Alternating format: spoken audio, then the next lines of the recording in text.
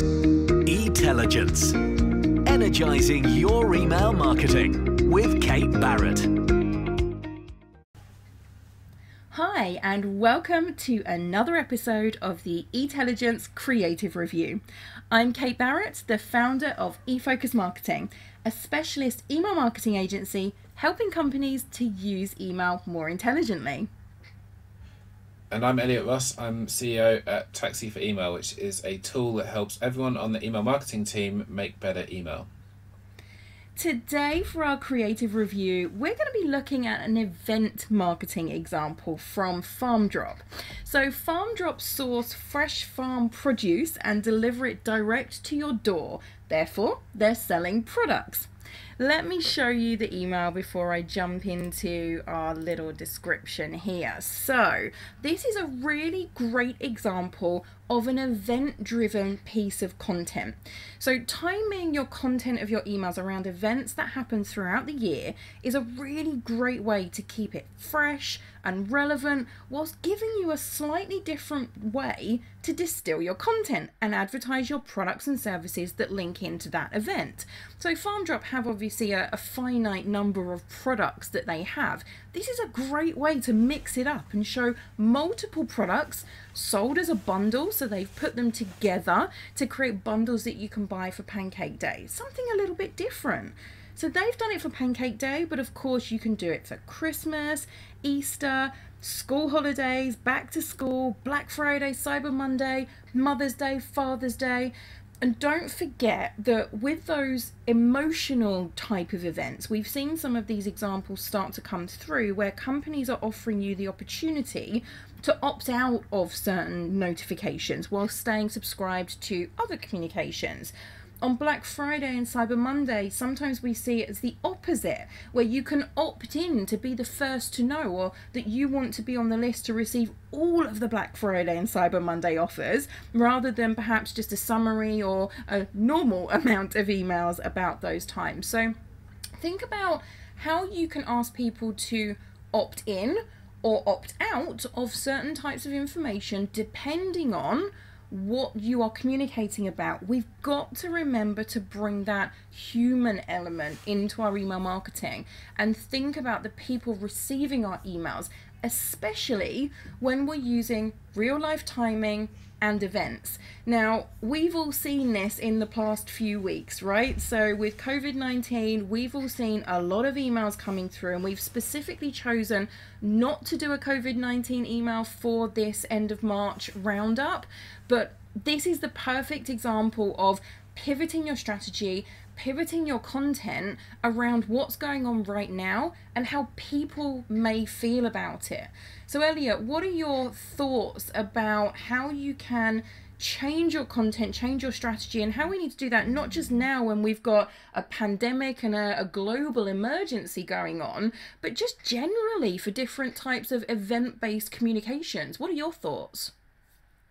Um, I think it's a, a, mixture of things. So there's, you know, often um, marketers we have this kind of idea of like we email once a month or we email once a fortnight or whatever, um, and quite often we're saying uh, broadly the, the same sort of things. So tying in with different events is a good way to be able to put a new spin on a similar kind of message. Um, so what they're doing here with Pancake Day is great because they're finding a new way to basically say, you know, our service is about sending you the ingredients that you'd need to do to put a meal together. Um, and also there's an element of kind of education stuff on here as well. You know, it might be that you don't know how to make pancakes or, you know, you don't know what ingredients you need or whatever. So it's a good way to sort of get almost as a reminder, like here's what you need to know and, and here's how to get stuff going. Um, yeah, I mean the, the sort of second part there, I think you have to make sure that you do it where it's relevant and it's not really contrived. So it works really well for them because it's in context, whereas quite often you kind of see marketing advice as kind of take World Emoji Day and make it about your brand, and it doesn't work because it, of course it wouldn't, you know. Yeah, I think that's great advice. You have to have everything that's going to work in context for your business. Um, you know, so if it was, I don't even know what all of the world days out there, but you know, World Pink Skirt Day, that probably wouldn't work for FarmDrop. Yeah, exactly, and and you know there are there's a list, a list of these days, but there is basically one a day. You know, sometimes more than one a day. Yeah. and you know, or a week or a month or whatever. Excellent. So before we move into talking a little bit more about the, the content and the design of this email, just to flag up a couple of things in terms of how they're sending this email. So tick, they're using a, a subdomain, so email.farmdrop.com. So that means it keeps that domain reputation away from their main farmdrop.com domain because we know that domain reputation is holistic around the internet. So when you are sending your emails, make sure you're doing it from a separate domain or a separate subdomain from your your main uh, company URLs. That keeps it away from your website, keeps it away from your one-to-one company emails as well. We don't want any kind of negative impact filtering back through to there. So that's that's obviously something they're doing well there. They've got TLS encryption um, enabled on their emails. So again, another good thing. And this was actually part of a couple of emails from FarmDrop around the same time. So this one is last chance to get your free pancake bundle. So in terms of uh, subject line techniques, they're obviously giving you a little bit of FOMO, a little bit of fear of missing out, that it's your last chance to get that free pancake bundle. And they are being explicit in the subject line that that's what it is that they're advertising. It is about selling their products, selling that pancake bundle. So, a couple of different techniques that they've used in the subject line there that I just wanted to, to call out. But just looking at the content and looking at it on a, a mob, mobile device, we can see that the content stacks one under the other. And I know this is something that we've talked about before. So Elliot do you want to pick up on a, a, couple of things? We've said before but just to recap on mobile design for everybody listening. Yeah so on the desktop version they've got this kind of S-shaped layout which is is great because it um it, it makes the email a bit more appealing when you're looking at it. So it's kind of the first sort of chunk of content there, you've got image, and then the text is on the right, and then the bit underneath, they've got um, the text on the left, and then the image on the right. So it's a sort of zigzag sort of view. Um, when you come to make that work on mobile, basically the challenge you have is when we stack stuff on mobile, you basically take the second bit and put it underneath the first. So you'd have image and then text underneath um, for the first module, and that's great. But when it comes to the second module, you'd end up with text and then image underneath, so it would look a bit weird when they're all kind of stacked into modules on mobile. Um, so the way around that is there's basically a, a, sort of code technique you can do to make sure that the second bit stacks above instead of below. Um, it makes the code a little bit more involved, and it's something that you need to sort of dig into. Um, but it's a nice touch that they've managed to do it here. Yeah, and what I really love is that they've they've used that S-shaped design, like you say, on the the desktop webmail version, um, and it works perfectly when they do stack it. And because they've used that green background on each of the individual offer sections, so in the secondary content area, they've got the primary content area at the top with the the menu, the image, the headline, and the main kind of proposition, and then in the secondary content area where they've got the S-shaped design or it stacks on a mobile We've got the green background on each section to clearly lay out with the white gap in the middle each of the three different bundles that they're selling. I think that works really well with the imagery. Then we've got a subheading there, the main offer that they're giving and what's included in that bundle, and then a really cool call to action as well. I love the the wording that they've used on the button. So they've brought the button text in line with what the offer is and they've actually delivered the offer code in the call to action button. I love that as an idea. Yeah, it'd be a nice touch as well as if you click through, that automatically populates in the sort of relevant field on the site. Um, sometimes that's technically difficult to do, but others depends on what you can do on the website really.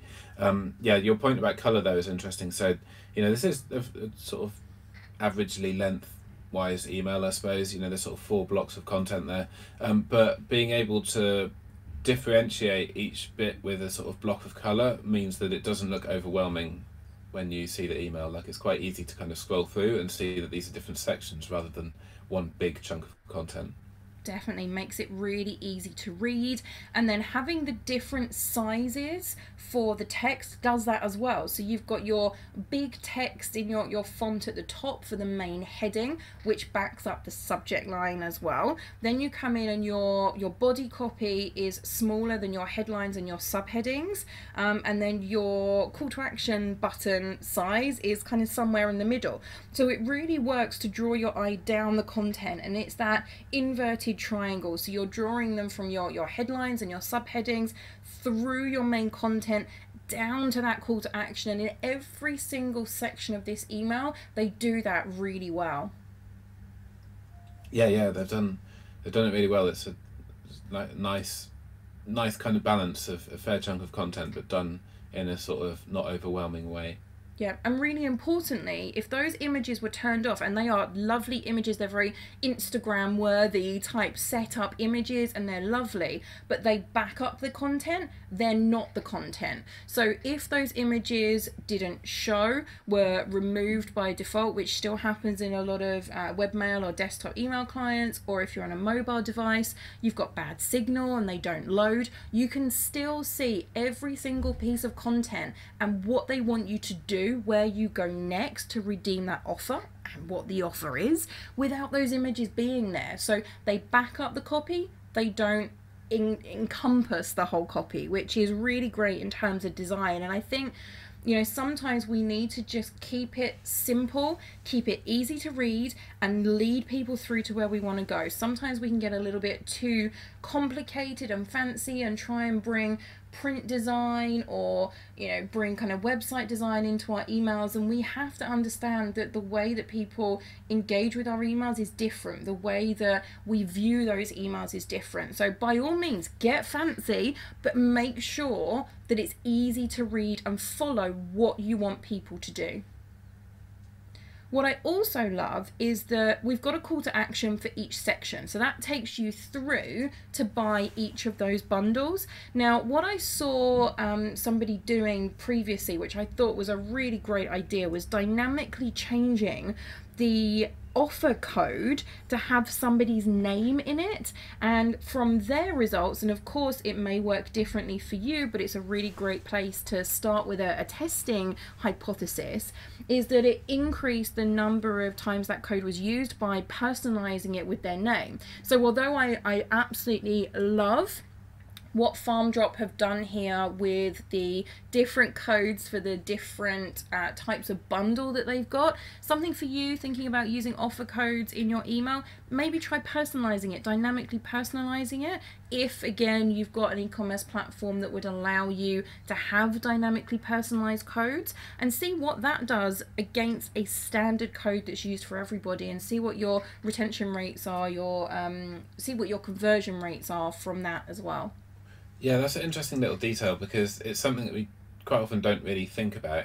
Um, so being able to tie the discount code to a specific person um, means that um, you know you, you, can do that attribution. You can see that this person received an email on this date, and therefore they, even if they didn't click through to purchase, they just copied it out of the email and they came back later um, through other means. You can tie that back to them receiving the email, um, but also it can be a sort of subtle way to underline for the sort of recipient that this is an offer specifically for you.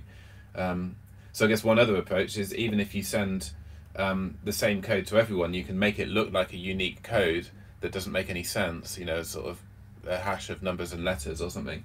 Even if everyone gets the same one, um, people might sort of think that it's still a unique one to them. Yeah, great point. So, a relatively simple email today, but one that I think is really effective, and that's why we wanted to pull it out as an example for you today. So, Elliot, any final thoughts that you wanted to share on this creative? Uh, not really. I think that's a, the sort of challenge with these sorts of emails is making sure you see them ahead of time because really, once the sort of wider world starts talking about whatever event it is that you're trying to get an email to align with, it's it's usually a little too late in terms of production timings and things like that. So um, the trick to getting this sort of stuff done is to be ahead of time, get yourself a calendar and work out exactly you know what what is on the horizon for the next three months or six months, so that you can get your content for Pancake Pancake Day or Valentine's Day or whatever it is. Um, you can get that going ahead of time before you see it in the sort of real world.